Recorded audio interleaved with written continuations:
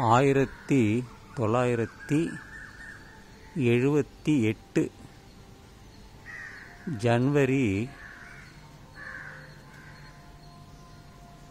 பதினொன்று என்று நினைக்கிறேன். எனது முதல் மகள் பிறந்த நாள். அவள்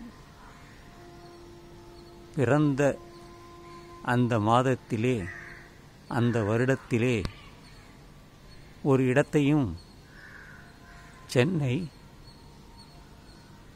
திருவிக்கா நகரில் அருகாமையில் கென்னடி ஸ்கொயரில் ஒரு இடத்தையும் வாங்கினேன். அவள் லக்ஷ்மி கடாட்சம் உள்ளவள். அதனால்தான் எனக்கு ஒரு இடத்தை வாங்கும் வசதி கிடைத்தது. வீடையும் கட்டினேன். அதே ஆயிரத்தி தொள்ளாயிரத்தி எழுபதிலே ஒரு வெஸ்பா ஸ்கூட்டர் அதையும் வாங்கினேன். வெறும் ஐந்தாயிரம் கொடுத்து செகண்ட் ஹேண்டு தான் அதை வாங்கினேன்.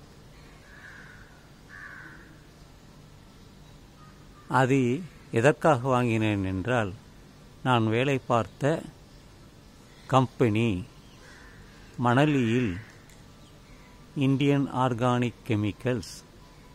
அதில்தான் வேலை பார்த்தேன் இருபத்தி ரெண்டு வருடம். ஒரு இரண்டு வருடம் மட்டுமே இந்த ஸ்கூட்டரை பயன்படுத்தினேன். அதன் பிறகு கம்பெனியே இரண்டு பஸ் வாங்கினார்கள். அதில் செல்ல ஆரம்பித்த பிறகு சிறிது காலம் இந்த ஸ்கூட்டரை பயன்படுத்தினேன். எனது அண்ணன் அவரும் கொஞ்ச நாள் பயன்படுத்தினார். பிறகு தேவைப்படாது என்று மயிலாடுதுறைக்கு சென்று என் அண்ணனிடம் கொடுத்து வந்துவிட்டேன்.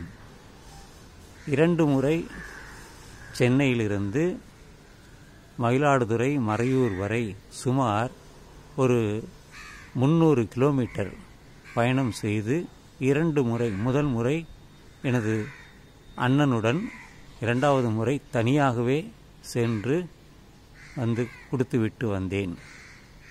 இதெல்லாம் பழைய ஞாபகங்கள்.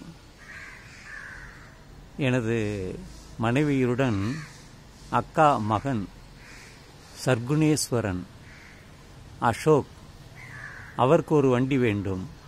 ராஜ்தூத் அந்த வண்டி புதியதாக வந்த வண்டி. அந்த வண்டியை கொண்டு போயிட்டு போலூர் வேலூருக்கு பக்கத்தில் இருக்கக்கூடிய போலூர். அந்த இடத்தில் எனக்கு ஓட்டத் தெரியாது. நீங்கள் கொண்டு போய் அந்த போலூரில் விட்டுவிடுங்கள் நான் பிறகு அதை பயன்படுத்திக் கொள்கிறேன் என்றார். நாங்கள் இருவருமே போலூரில் அந்த ராஜ் ராஜ்தூத் ஸ்கூட்டர் பைக் அதில் கொண்டு போய் விட்டுவிட்டு வந்தேன். ஜாவா மோட்டார் சைக்கிள் அதையும் ஓட்டினேன். புல்லட்டையும் ஓட்டியிருக்கிறேன். ஆனால் அதிக நாளாக நான் பயன்படுத்தியது சைக்கிள் தான். இதெல்லாம் எதற்கு சொல்கிறேன் என்றால் எனது மகள் காமினி தேவி. அவள் பிறந்த பிறகுதான் இவ்வளவும் முதல் மகளாச்சே. அதனால்தான் இந்த காலையில் இதை ஒரு பதிவாக பதிவிடுகிறேன்.